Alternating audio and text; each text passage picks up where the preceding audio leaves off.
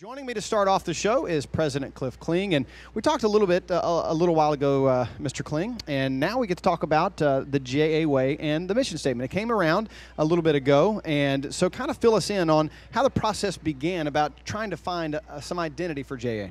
Absolutely, Brian. Glad to be here tonight, and uh, glad for, for JA to be uh, at the Village again tonight. And uh, for anybody who's counting, I did talk to Coach Lee uh, before this, and Coach Lee informed me that he had three tacos uh, already. So, nice. So uh, anyway, so to a more serious topic, the the JA mission uh, and the JA way. The mission for an independent school is really what we are all about. Uh, everything we do is to try to fulfill that mission. And so every decision we make, every program decision, every dollar we spend, every hire we make, everything is about the mission. And so as I was moving into the role of president, we had a, a mission that had been around for about 20 years, and it was very long, and it was a mission that was a good mission, but it was not used in everyday uh, discussion. It was not used in everyday uh, decision making. Uh, so part of that was because of how long it was. And so we put together a task force. It was about 20 people on the task force, looked at revising the JA mission. And one of the things we did is we asked two students to be uh, on that task force. And the two students both said that they didn't realize that Jackson Academy had a mission statement. And that was very indicting to, to us that we needed to use the mission more and that we needed to develop a mission statement that was frankly more memorable. And so we worked on that, and the committee worked for over a year. And JA's mission is within our nurturing and spiritual community. Jackson Academy inspires and equips each student to lead a life of purpose and significance. And that's a mission that one, one of the things that I think was very uh, pleasing to those on the mission statement task force is when we revealed that mission, people did not feel like that that was a new mission for Jackson Academy. It was a revised statement of an enduring mission that Jackson Academy had been fulfilling for a lot of years. And so that was that was not our goal to change the direction of the school, but to perhaps do a little better job of stating that mission. And I think we did that. And, and now we're about two years into the mission. We've used it more in decision making. We've placed it around the campus.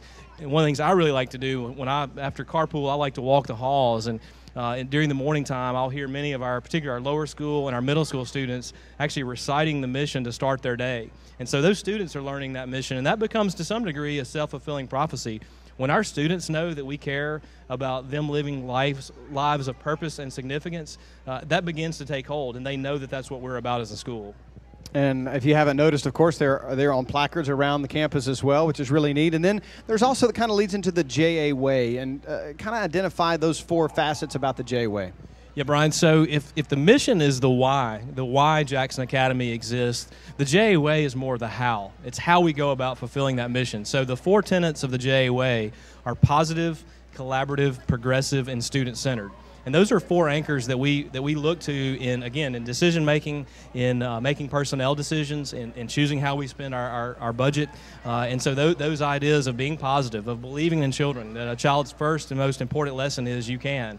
Uh, progressive, that you know if we're not ahead of the curve, then our students are going to be behind collaborative, what we can do together is, is better, and then student centered. That's that's our very reason for existing as a school. If we're not student centered as a school, we really don't need to exist. And so every decision we make is centered first and foremost around our students and serving them. One other thing that uh, folks are going to get to get a, a, glimpse at very soon. I know we talked about this in our very first conversation, and I kind of snuck up there this morning actually, and it's close uh, as far as the new learning commons, and it looks amazing. Well, thank you, Brian. Uh, in fact, today we had, uh, a, as our students well know, they were not in school today. We had staff professional development, and Pat Bassett, who is the former president of the National Association of Independent Schools, was on campus.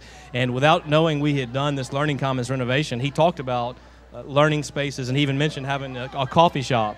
And so I was able to tell him at the break, I said, Pat, we, we have all those, all those things already. So I showed him the space, and yes, it's very close, very excited about it. And, and, and this is a guy who has been to, to schools in 40 states and 40 countries, literally thousands of schools, and he remarked that it was a, it was a, an incredible space, and he was very impressed. And our, I know our students are going to be. I think some of them have already snuck a peek uh, and looked, but uh, it's going to be very exciting. And we're hoping, uh, I think Thursday or Friday of this week, uh, to be able to open it up and, and allow our students to begin using it. And that was the thing. In fact, when I was touring Pat today, is that as impressive as, as the space is, it's going to be even more impressive when we see our students using the space, see their learning becoming visible, all the, the, the walls in, in the individual breakout conference rooms are, are, are, really team rooms. They're not conference rooms. All of those walls are ideal walls. They're, they're full on uh, paint that's whiteboard uh, or, or, whiteboard type paint. So all the, the ideas can be up on the walls. We have we have technology tables where you can plug in laptops. So making learning visible, creating spaces for students to be able to collaborate and to and to work in teams, work collaboratively. Again, supporting the JA way of being collaborative. Real quick, a question I didn't prepare you for, but I know you're obviously a professional, you can handle it. But how important are these professional development days for your staff?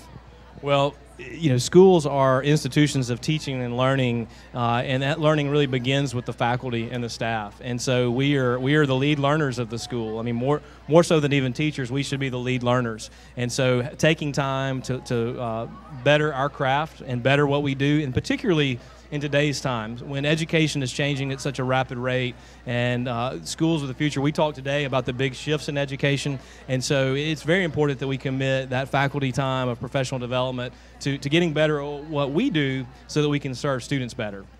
That's President Cliff Kling, and of course, you can find out more about Jackson Academy online at jacksonacademy.org. We encourage you to come out and check out the new Learning Commons the next week or so when it opens up for all.